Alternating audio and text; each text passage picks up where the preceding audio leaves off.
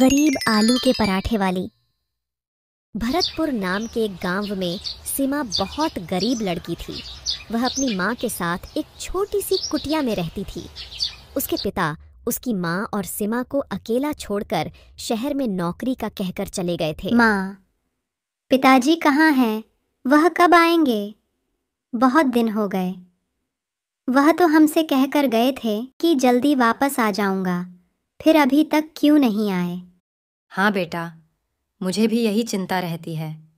लेकिन बेटा हमारे पास उनका कुछ पता नहीं है कि वह कहाँ गए हैं। पर हम कब तक पिताजी का इंतज़ार करते रहेंगे? क्यों ना हम शहर चले? हाँ बेटा तुम सही कह रही हो हमारे पास राशन भी ख़त्म हो गया है और पैसे भी बहुत कम बचे हैं। हम कल ही सुबह शहर चलेंगे तुम्हारे पिताजी को ढूँढने। लेकिन उसके पहले मैं पास में चाचा जी से इस बारे में बात कराती हूँ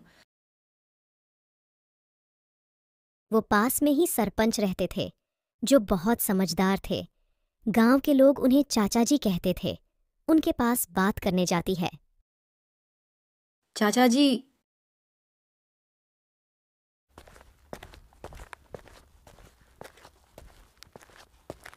अरे बेटा तुम यहाँ कैसे? चाचा जी मुझे बताना था कि मैं और मेरी बेटी मेरे पति को ढूँढने शहर जा रहे हैं।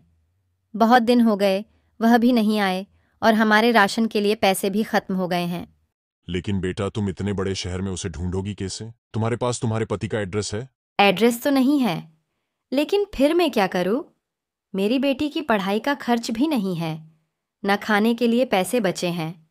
मेरी मानो तो अपनी छोटी सी बेटी को ऐसे ही शहर ले जाने की जगह तुम गाँव में कुछ काम कर लो जिससे तुम्हारे राशन के लिए और पढ़ाई के लिए पैसे मिल पाए। और तुम्हारा पति तो कभी ना कभी आ ही जाएगा। लेकिन चाचा जी मैं क्या काम करूँ? और काम शुरू करने के लिए पैसे कहाँ से लाऊं? बेटा इस गाँव में खेती करने और पास में नदी होने से बाहर के गाँव से बहुत लोग आते हैं।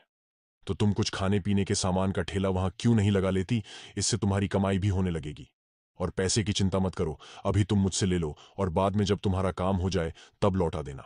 धन्यवाद चाचा जी। आप सही कह रहे हो।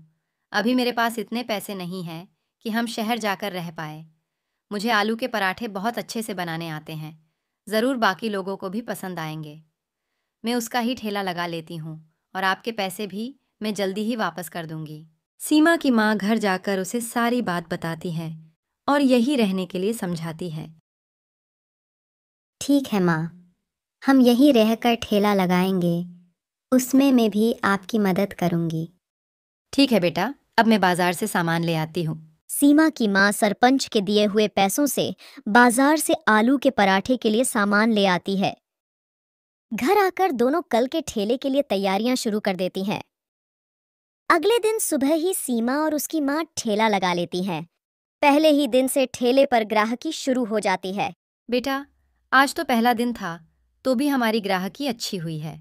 हम ऐसे ही मेहनत करते करेंगे तो सब ठीक हो जाएगा।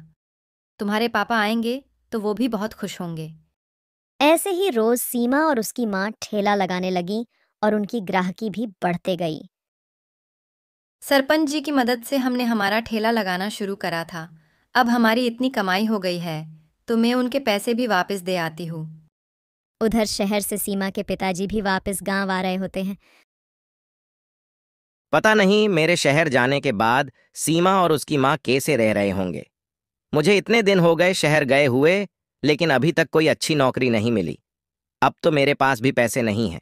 मैं घर जाकर उन दोनों से क्या कहूँगा और खाने पीने का खर्च भी कहाँ से लाकर दूँगा? अरे राजेश तुम यहाँ कैसे? तुम तो शहर गए थे ना नौकरी करने वापस कब आए? अरे भाई वहीं से आ रहा हूँ। गया तो नौकरी के लिए था लेकिन मुझे वहाँ नौकरी नहीं मिली। पता नहीं यहाँ मेरी बेटी और उसकी माँ कैसे रह रही होंगी। अरे तुम उसकी चिंता मत करो वह दोनों तो यहाँ बहुत अच्छे से रह रही है। सीमा की माँ ने आलू के पराठे का ठेला लगाना है चालू करा है। बहुत दिनों से वह वहीं ठेला लगा रही है और उनकी कमाई भी बहुत अच्छी होने लगी है लेकिन हर दिन वो दोनों बस तुम्हारा इंतज़ार करती रहती हैं। तुम्हें देखकर वो बहुत खुश हो जाएँगी। क्या तुम सच कह रहे हो? तुमने तो ये बताकर मेरी चिंता दूर कर दी। मैं अभी जाकर उन दोनों से मिलता हूँ। सीमा बेटा। अरे पिताजी माँ देखो, पिताजी वापस आ गए। इतने दिन से आप कहाँ थे? हमें आपकी बहुत चिंता हो रही थी। मन में ना जाने कैसे कैसे ख्याल आ रहे थे। हमने बहुत कोशिश की कहीं से आपकी जानकारी लेने की, लेकिन कहीं से कुछ खबर नहीं मिली। हमारे पास राशन के लिए भी पैसे खत्म हो गए थे। सीमा के स्कूल की फ़ीस के लिए भी पैसे नहीं थे तो उसको भी स्कूल से निकाल दिया था। तभी से मैंने आलू के पराठे का ठेला लगाना चालू करा। मुझे भी शहर में तुम दोनों की बहुत चिंता हो रही थी। वहाँ मैं काम की तलाश में इधर उधर भटक रहा था लेकिन कहीं कुछ काम नहीं मिला। कहीं काम मिला तो वो पैसे वहाँ रहने में खर्च हो गए। लेकिन तुम्हारे पास ठेला लगाने के पैसे कहाँ से आए? कहीं से तुम्हारी कोई खबर नहीं मिल रही थी और हमारे पास राशन भी नहीं बचा था। इसलिए मैं और सिमा तुम्हें ढूँढने शहर आ रहे थे। वही बात करने में चचाजी के पास गई तो उन्होंने मुझे समझाया और ठेला लगाने के लिए पैसे दिए थे। और आप चिंता मत करिए यहाँ हमारे पराठे के ठेले पर अच्छी ग्राहकी होने लगी है। अच्छा हुआ आप भी आ गए। अब हम सब मिलकर ठेला लगाएँगे और एक साथ रहेंगे। अच्छा फिर तो मुझे अभी ही चाचा जी के पास जाकर उनका धन्यवाद करना चाहिए। अगर वो तुम्हें सलाह नहीं देते और ठेला लगाने के लिए भी पैसे नहीं देते तो ना जाने क्या हो जाता। आप इतनी दूर से आए हैं। पहले कुछ खा लीजिए फिर हम दोनों चाचा जी के पास चलते हैं। चाचा जी आपका बहुत बहुत धन्यवाद। मेरे शहर जाने के बाद आपने मेरे परिवार की इतनी मदद की। अगर आप इन्हें शहर आने से नहीं रोकते तो पता नहीं मैं इन दोनों से कैसे मिलता। अरे बेटा इसमें धन्यवाद की क्या बात है? यह तो मेरा फ़र्ज़ है। धन्यवाद तो तुम्हें तुम्हारी पत्नी का करना चाहिए। उसने तुम्हारी बेटी के लिए बिना सोचे इतनी मेहनत की और सफल भी हुई। अब तुम यहाँ आ गए हो तो अब तुम दोनों मिलकर काम करो। सीमा को स्कूल भेजने के बाद वह दोनों मिलकर ठेला लगाने लगे और अच्छी कमाई करने लगे।